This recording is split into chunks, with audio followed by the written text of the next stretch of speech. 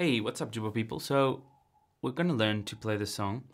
And first of all, you need to tune to this. I'm just going to talk about this music theory behind the song first so that you kind of understand the framework that you're playing in and talk about the tuning and some of the chords.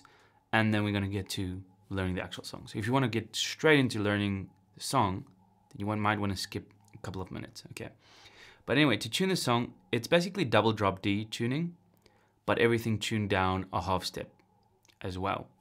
So we've got D flat on the top string or C sharp, depending on what your tuner would say, and then A flat, and then in D flat, G flat, B flat, and then D flat. So these two strings are tuned down one and a half steps, and all the other strings are tuned down just a half step. So it's quite quite a simple tuning, but it's kind of a schlep to tune there but you know it's it's worth it because it's got that nice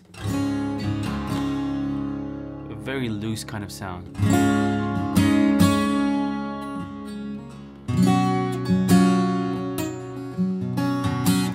The strings are a little bit loose it's a bit nicer to play you know more comfortable. Okay then let's talk about the key of the song. So the key is in D the D is the tonal center. You know that's the that's the key. Um, but it is not doesn't use the D major scale really at all. It uses mainly the D Mixolydian scale when coming up with a lot of the riffs, but also the D minor scale, the D minor key. So let's quickly go over the chords and I'll explain that. So the first chord, that's obviously just a regular D major, okay? And then we have the C add 9 chord, which is very common to use inside the key of D, like with Sweet Home Alabama. It's that rocking kind of Mixolydian sound. It's the flat 7 chord in the key of D.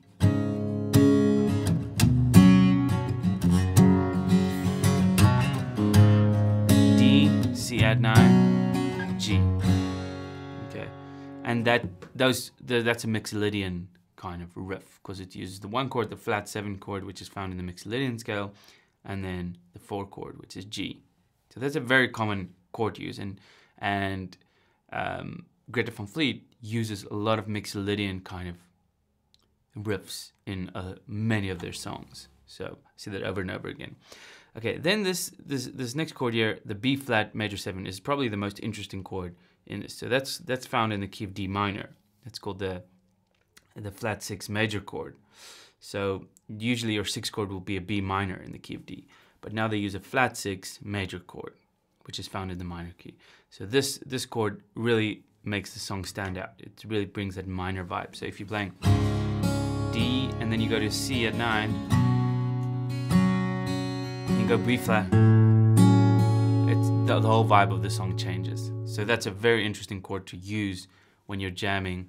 Um, obviously, the guy who's soloing should really know what he's doing if he wants to solo over the B flat uh, major seven. That's why they don't use the B flat major seven in the solo, by the way, because it will just mess up the solo totally. The guy would really have to keep his place. But if he, if they're using, we'll get to the chords in the solo in a second and show you how to solo over that if you want to experiment with that. Okay, so then uh, we have D again, and we have these riffs which are basically in D, D major. That's a D major riff, not even D Mixolydian, just a plain D major. Okay, then in the verse we have D going to an A minor 11 chord, which is the same as a C chord essentially, it's just got an A note inside of it. So we've got D up here, and then A minor 11 chord, which is also the Mixolydian chord. Very Coldplay kind of vibe to do.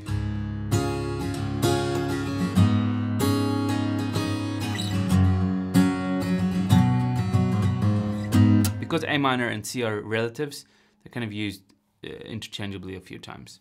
Okay, so A minor 11, that's still D Mixolydian. Then we have this move to D minor again. But then we don't go to C, we go to G over B chord, which is a common chord to use in the key of D. So then it's kind of like barring. And it's kind of that bass walking up.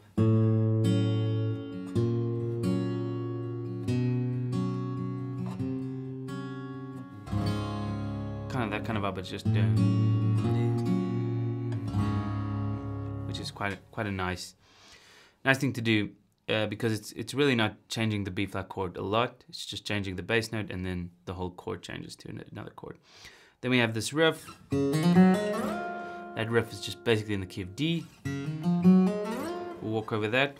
Um, so I'm just covering the music theory first, and then we'll we'll jam. So here, the first part of the jam with it was like flat flute solo. They have this D going to a C add nine chord. So.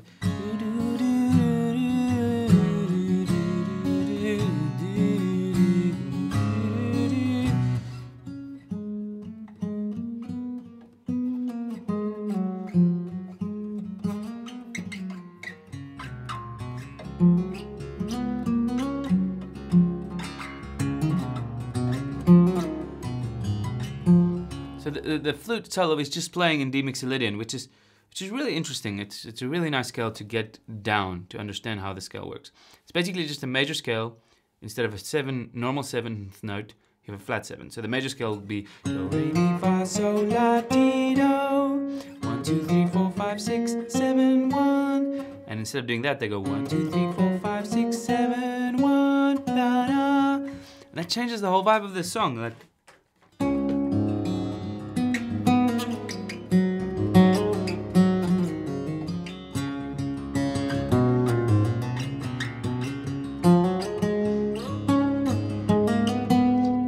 seven.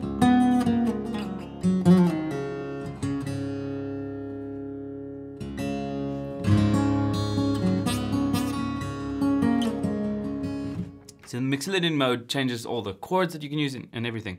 Not all the chords, but some of the chords change.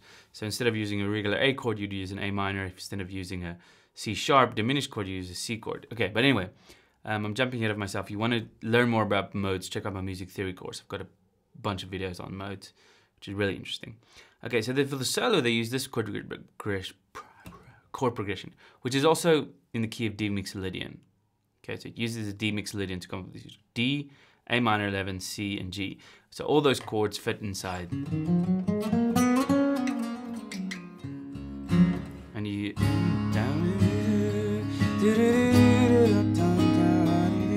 Now,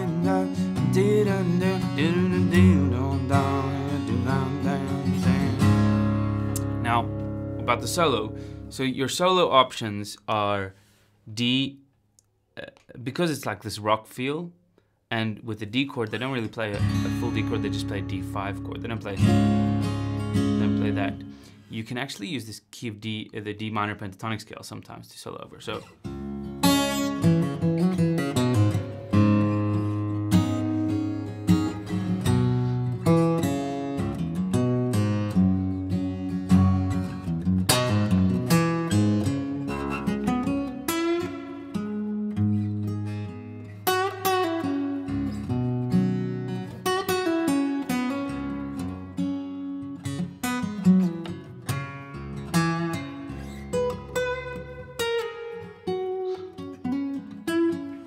So you have two options: D minor pentatonic, which gives you that crazy rock sound, that,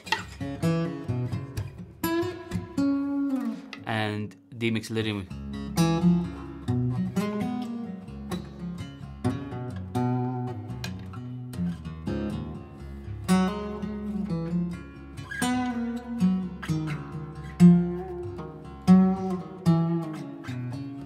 So you can kind of combine those two.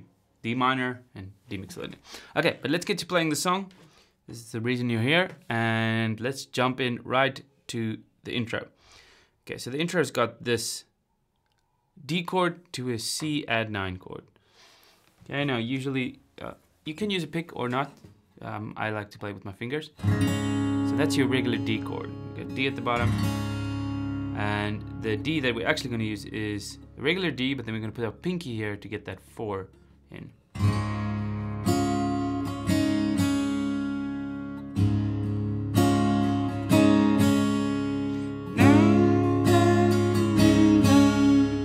Go.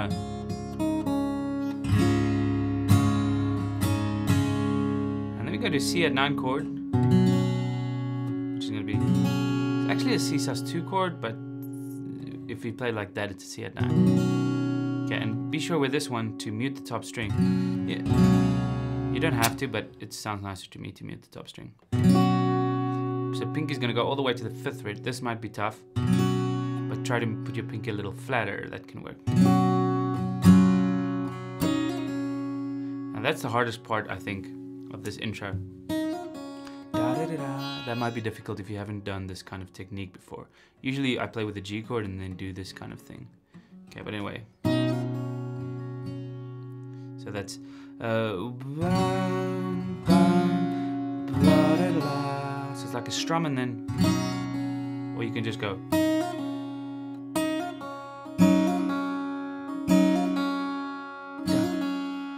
So the, the, what they're actually do on the album is da da da da da da da da da da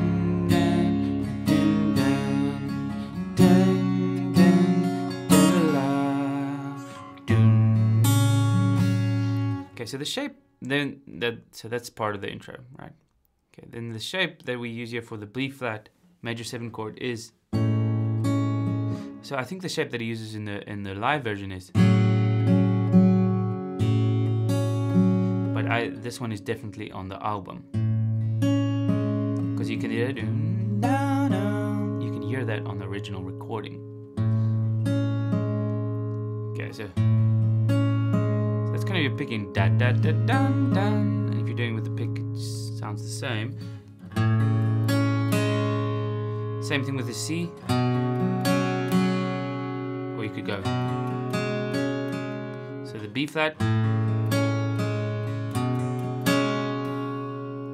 Actually, with a C, they go dun dun dun something like that. Dun, dun, dun. Obviously, I'm not going to teach you note for note. That's not my style um, you want to kind of make the song your own, but I'm going to show you kind of how they come up with these stuff. These stuffs. Okay, then we have this little crazy riff. Um, and then it's like a D chord, we, and you count to two, and then you start the riff. So one, two, da da do da da do da da da da. Because we got ba da da da da da.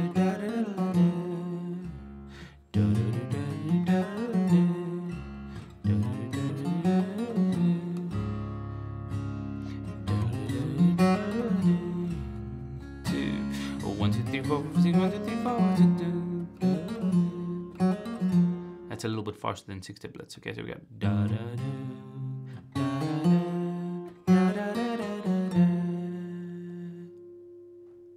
That's it. So one, two. Just want to erase this because that can confuse people. Okay. This is hammer-ons and pull-offs on the on the third string.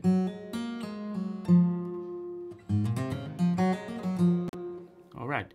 So there. We, let's play the first line. It's basically, let's go. One, two, three, four, and Okay,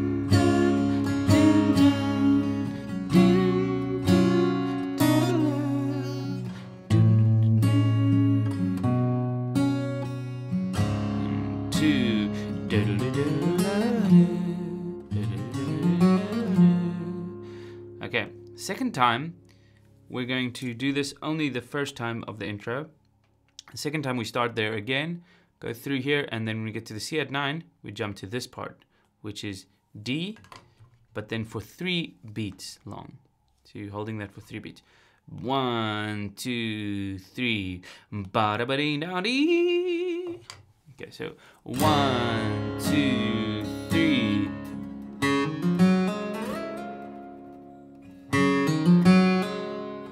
Middle finger there, sorry.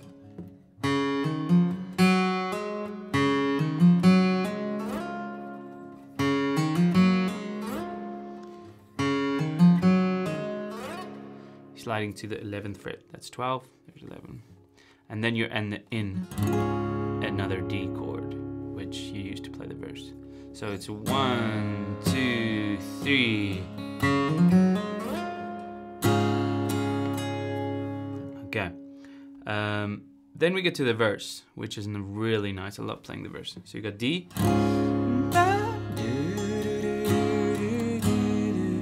This is like a, it looks like a D7 shape, but it makes an A minor chord. Actually an A minor 11 because we have the D string inside. 12, 10. Very rain song like thing to do from Led Zeppelin. And then B flat.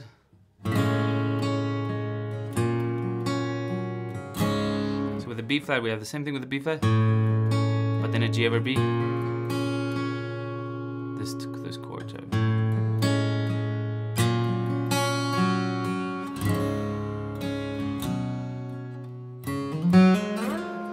And then we go to this riff two again in the verse, back into the verse. Okay, so that's our first line of the verse. Let's play that slowly. One, two, three, four.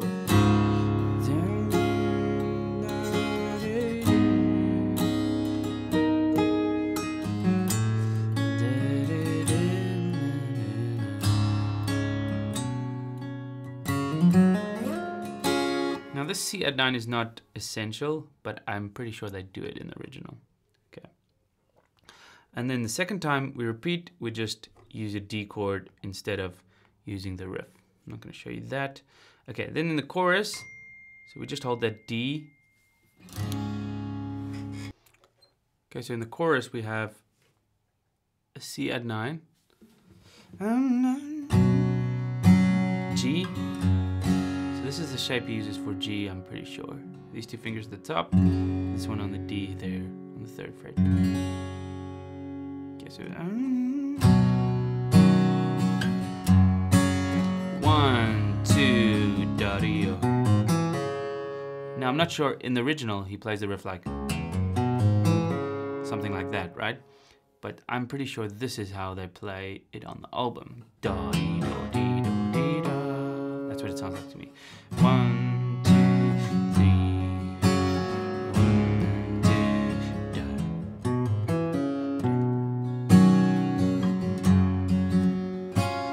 so that's it. That's just easy. That's all it is. Riff three. Okay, and then we have this interesting little part over here, which he does, which I really love. And then. Okay, so I'll play that part slowly. Down, down, up, up, down, up,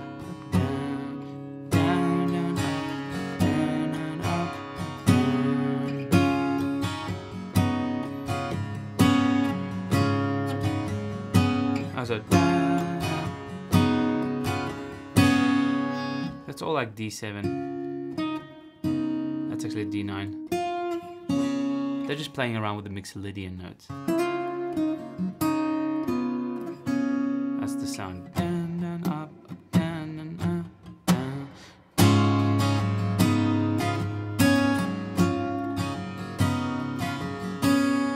That's the vibe of that part.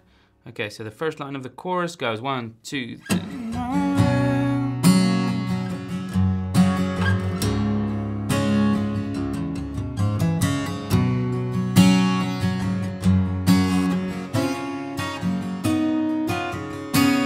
Second line, C, G, D, same riff. C add 9, B flat, B flat, D, diamond chord, you hold it, and then you go back into riff 2. And then you could do riff 2 into. Um, uh, um, I I'm not sure.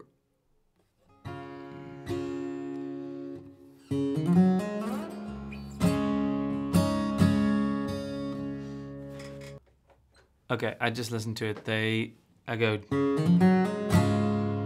So they don't go. So they do riff two, but not into the slide. So.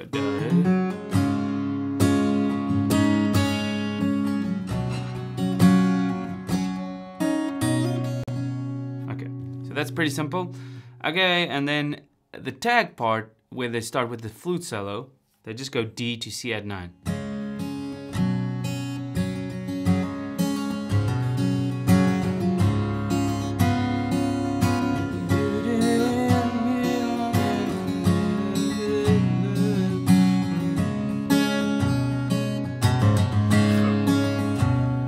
Solo, we got D, A minor 11,